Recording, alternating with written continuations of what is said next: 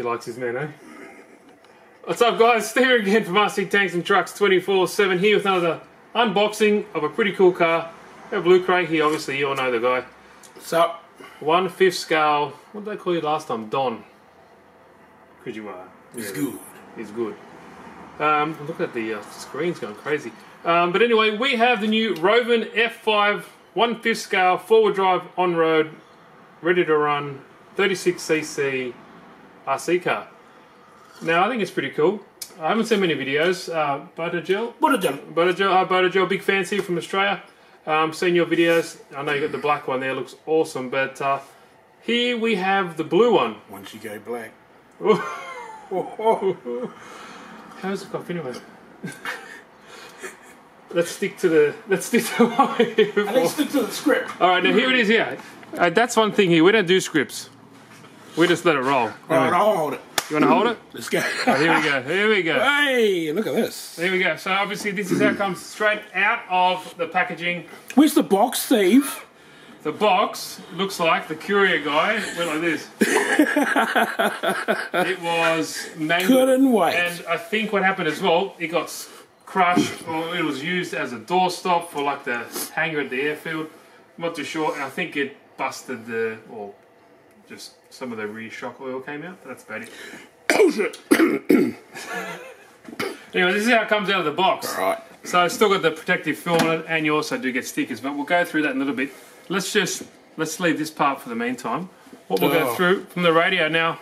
I know it's a boring stuff. I know a lot of people are going to say, "Hey, um, it's a cheap radio for a big car." Yes, it is, but that's probably what keeps the price down. You know, it keeps the price down so you can get the car. That's pretty cool. But then you can just upgrade to to your own. What is it? transmitter. So it is a three channel transmitter, four AA batteries. It is electronic. It does have a fail safe already installed. Everything's uh, ready to rock and roll. So if you if this something goes wrong with this and it loses power, the car brakes will go on. It's got a little screen there as well, so it's got your your chill rates, all that kind of good stuff. Everything you recommend. The TX and the RX is on. So when you turn the RX, the receiver here on, it should show you the voltage on that as well. But there we go. There, nothing too fancy. It does say that it comes with a FlySky in the uh, description, but it doesn't. Well, my one didn't anyway. I think Buttergel's did. I think his one. I believe you uh, press a button and it transforms into a butterfly. it. Made by- you also get these cool. These are really good. These are cool. These are really cool. So you open this up, and it's got its own little spout and stuff in there. Ray, that is yours. Thank you very much. And you also get a Whoa. shirt, extra large. Right. Sorry, mate. Yeah. Not for you, Luke Ray. Hmm. Maybe when I was 10. You had a wing as well for the body. That's Oh. And Downforce hard- uh, time. yeah, maybe. Yeah, it's hardware fixed as well, so not just body pins. And Oh, the goodies bag. the goodies bag. So like a little show bag. Goodies. What's good though? It's um, it didn't say in the description, but you also get. Check out this. Spare. What? I know, eh? No way. Like Christmas, you get a spare Who? spool pool start. What? A uh, oh, um, an spare air filter, foam. Steven.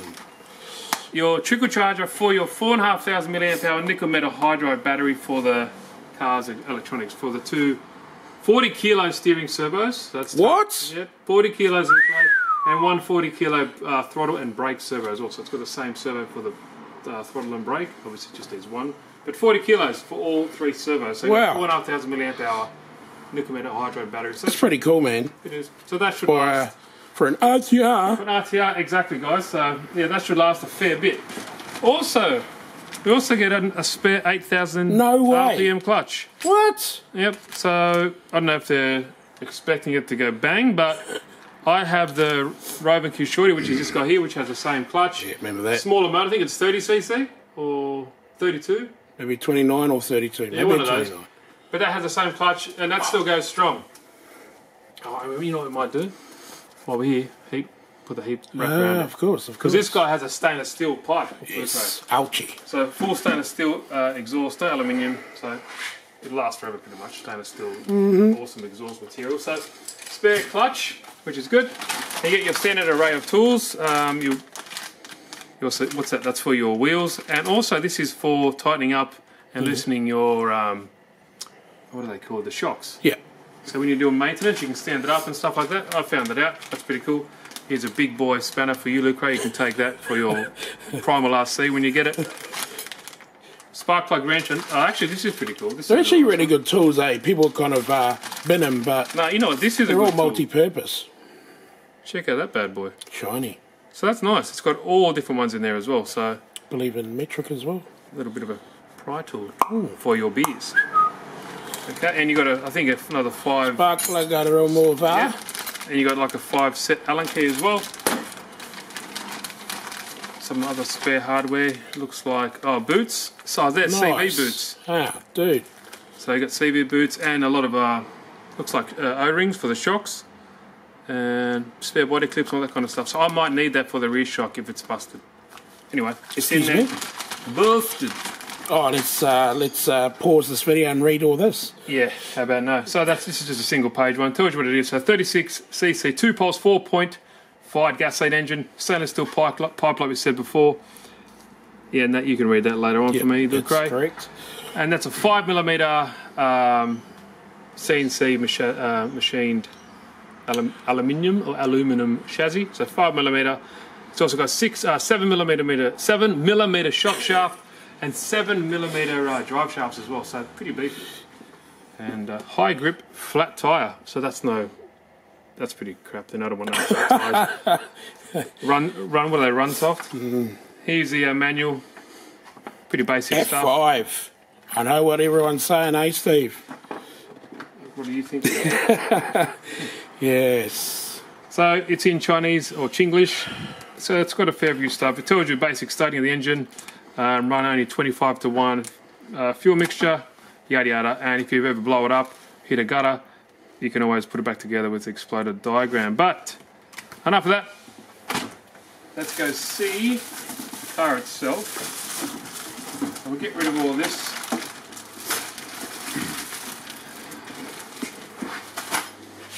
I was going to read that manual, Steve. Yeah, I better do that before we start today. Eh? Yeah, just in case. Okay, now the body is it's cool. It's got two, four, six, eight, ten body clips or body Hold mounts. on.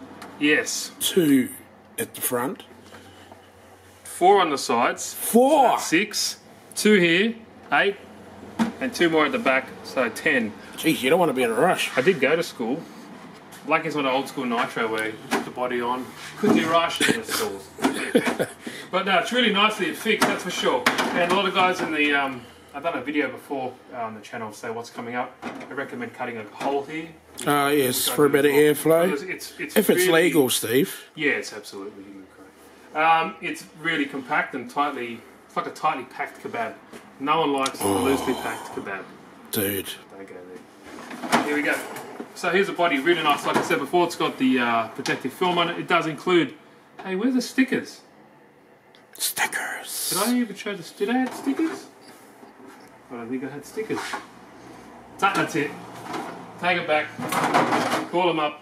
I need my stickers. So maybe it's in the maybe it's in the box. I'll, I'll double check. But you can get stickers for the uh, windows and all that kind of stuff. But actually, I like it without it.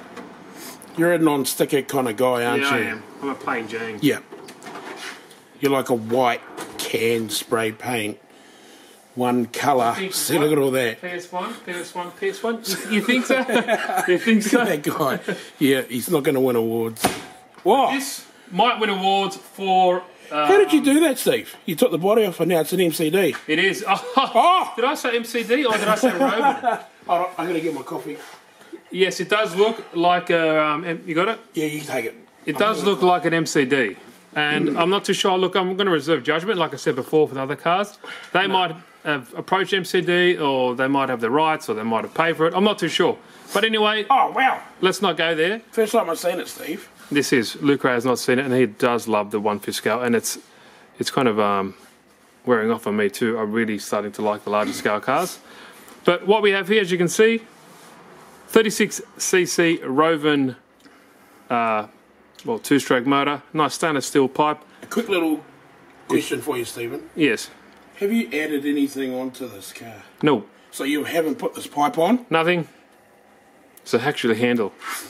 No, nothing. This is honestly, guys, how it comes stock out of the box. And for the price, check out the link in the description when you go check it out. I think it's pretty good value, Luke, right? Well, Things like this, like the controller, which you use as a yeah, paperweight, you know, you can let that fly because normally with these cars you'll change them out. But I think it's pretty decent. Like it has a lot of nice running gear. Here are the uh, two 40 kilo servos running in tandem, so that gives you 80 kilos all up, obviously. Same 40 kilos uh, brake and throttle servo with a nice, well, yeah, aluminium. for this Horn. video, we're going to call it aluminium. Al- alim- uh, I can, now keep getting confused. Aluminium steer, uh, well, throttle horn. These ones are plastic, but they can also be easily be changed out. But that's nice to see straight out of the box. Jewel. Wow. Yeah, dual, absolutely. Under here is your three channel receiver, on and off switch. You've got two front and rear brake discs with a center spur gear. And it's got front and rear differentials, obviously, with hardened uh, metal gears. I'm Not too sure if they're CNC, probably not, probably just metal. metal. Uh, what's it called? Metallurgy? Hmm? What's um, AVE? Say? yeah. Powdered, powdered metal? Do, you want to, do you want to be a darling and get that for me? Sure, sir. Underneath there is the uh, 4,500 milliamp hour nickel metal hydride battery. Nothing crazy to see, but just wanted to show you. It does include, um, because it, it does come with a charger, it also has like a nice little charging port, so you can just lift this up. Me and battery covers, eh? There we go. Back. Raven battery, and it's also got the uh, Tamiya plug or Molex, Molex. plug, ready to rock and roll. Now, further look down here, we have 7mm front and rear drive shafts. As you can see, it connects to the center spur gear where the two brake rotors are, all the way to the front and rear differential, just like a normal 110 to 1/8 scale car. And you also have 7mm thick drive shafts here as well. Now, they are, I believe, CVD in up here, I believe, are they? They certainly do look like it, with the normal dog dog bone in the middle there. And that's why you get those boots. Well, you get those boots. Maybe you can put them on if you want to. You know, those boots that came with it. Yeah. They definitely. That Well, looks there like four? Yeah. Is there four of them? Oh, that's definitely a Well, there's at the rear. yeah. Well, there's four wheels normally on a car, eh? Oh, this guy. So there you go. So it's obviously got CVD, front and rear.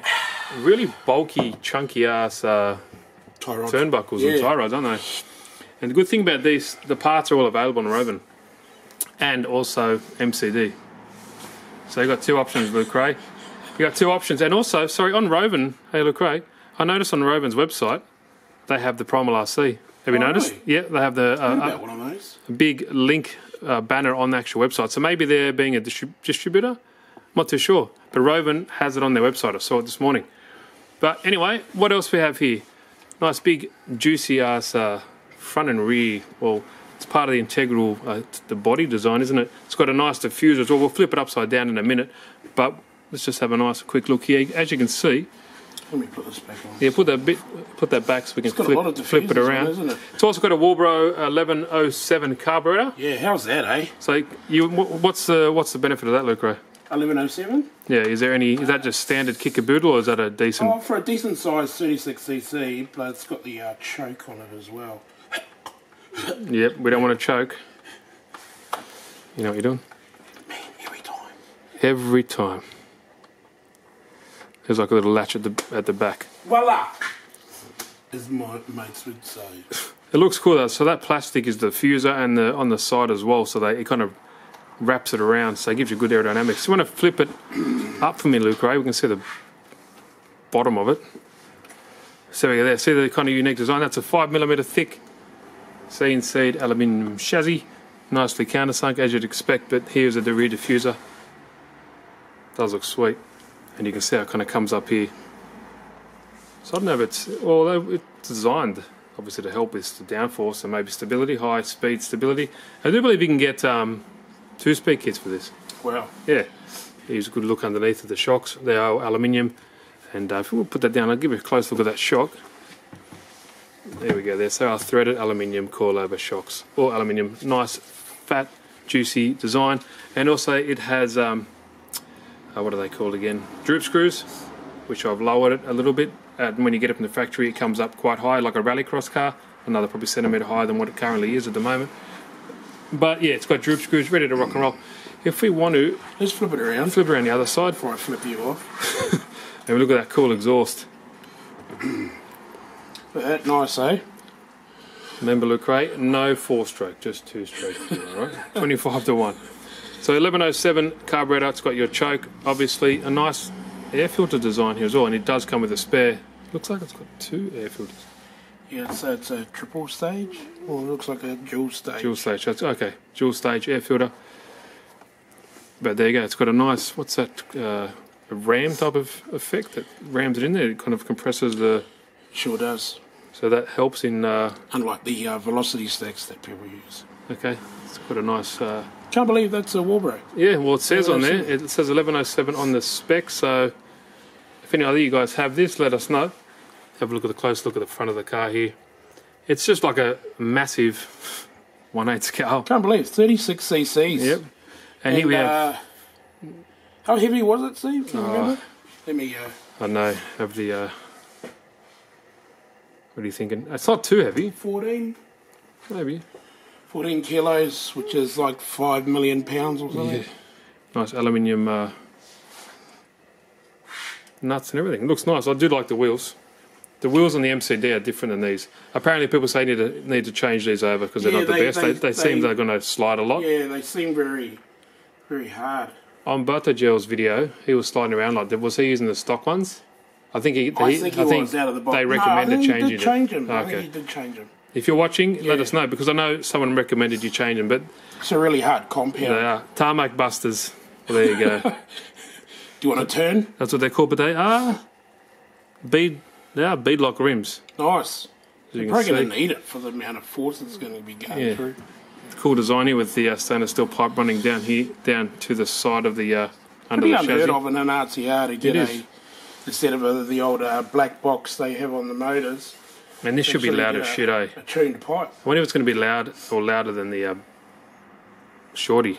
That thing was crazy loud. Yeah, but look at your pipe here. Look at this, Steve. They got a breather on it. Out of Okay. the box. So what's That's the benefit pretty of that, Luke? Right? Uh, just vent your uh, fuel. So there's no, you don't need to do that. That's a small little breather hole. Yeah. Ready to rock and roll. Okay. What else we have here?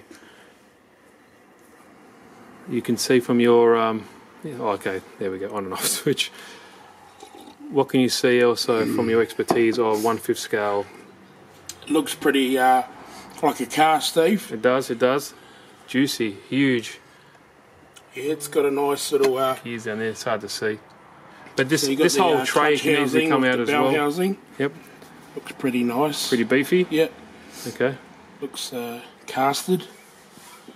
I mean, uh, see how it's hidden in the centre diff. So it's definitely a centre diff. No, it? no center different. I think. I think it's just a straight, um, Oh, it's- straight. straight. So it's got front and rear differentials with a. It's a It's solid. front and rear. Yep, that's it. So you can also always tune it up if you want to put thicker or or less viscosity in uh, each of those diffs to perform a different way. Look, I'm no expert at this, guys, but uh, I'm just looking here. It does have some nice adjustability in the the lower A arm, so you can also change it there. And it also has another position up here if you want to change the uh, position of the shocks as well. But these look quite thick. They look a good what 10 millimeter thick uh, plastic at the bottom, and the hub carriers and all that. They're all that is plastic, but you'll probably be able to get these in metal. I never, I never upgrade these in uh, aluminium. No. The hub carriers and stuff like that, maybe, or the center brace. I saw that you can get the center brace here. Yeah. That'd mainly be the- sick. The front and rear center brace. Yep. But what I, I want to do is just leave it all stock. Might wrap the header or the exhaust, sorry, and that's it. Just for It's cold, yeah. so you know. What do you reckon, Luke? Ray? We put some 25 mix in there Yeah, let's go. and uh, get on the ground. It's See you in a bit. We'll put it on the floor and uh, do its first start. Okay, we're back. Haven't touched it, just put it on the ground. Filled up with about maybe 250 mil of. Uh, Yeah, we didn't octane- fill it all the way up. 98 octane. So we still got to run it in, yeah? In Australia, we get pretty good fuel here. Yeah. 98. Uh, it's pretty readily available. 98, we're using a Motul 800. Oil, yeah, Nothing so but the best. 25 to 1. Have not touched anything. So in the manual, they recommend one tank just driving slowly, which, you know, whatever. I might start it, do a few heat cycles. I'm not going to show that running process. If you want to watch that video, you can go check it out for the uh, Rovan Shorty Baja. I think they've done something similar. It's not exciting. There's plenty I watch that done it. every second of the break in, Steve.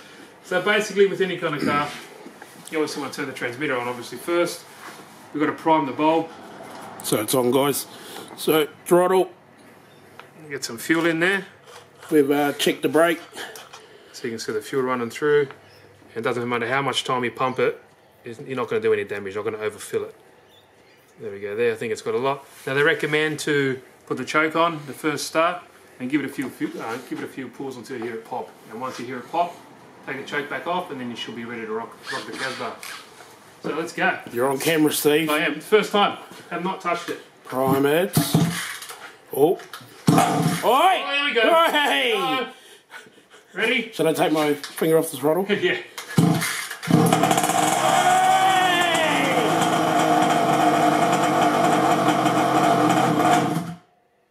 Take it back. Ready? Oh.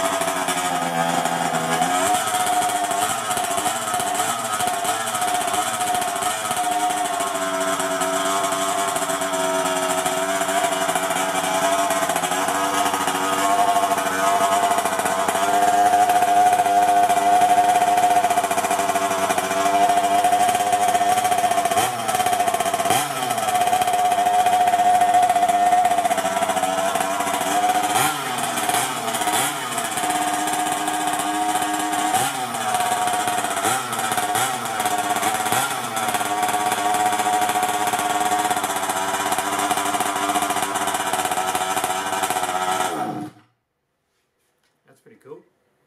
That's how starts again. So, I think that was pretty. I reckon that was right about 85, 90 dB. You reckon? So Yeah, not- I don't think it's as loud as that. It's, uh, I don't think it's as loud as the shorty. no, the shorty but it's very high pitched. Yeah. Brand So- new. So let's start it again. Yeah. Get another heat cycle through it. Easy. That was a kill switch. Obviously, you saw there. Everything should be much easier to start now.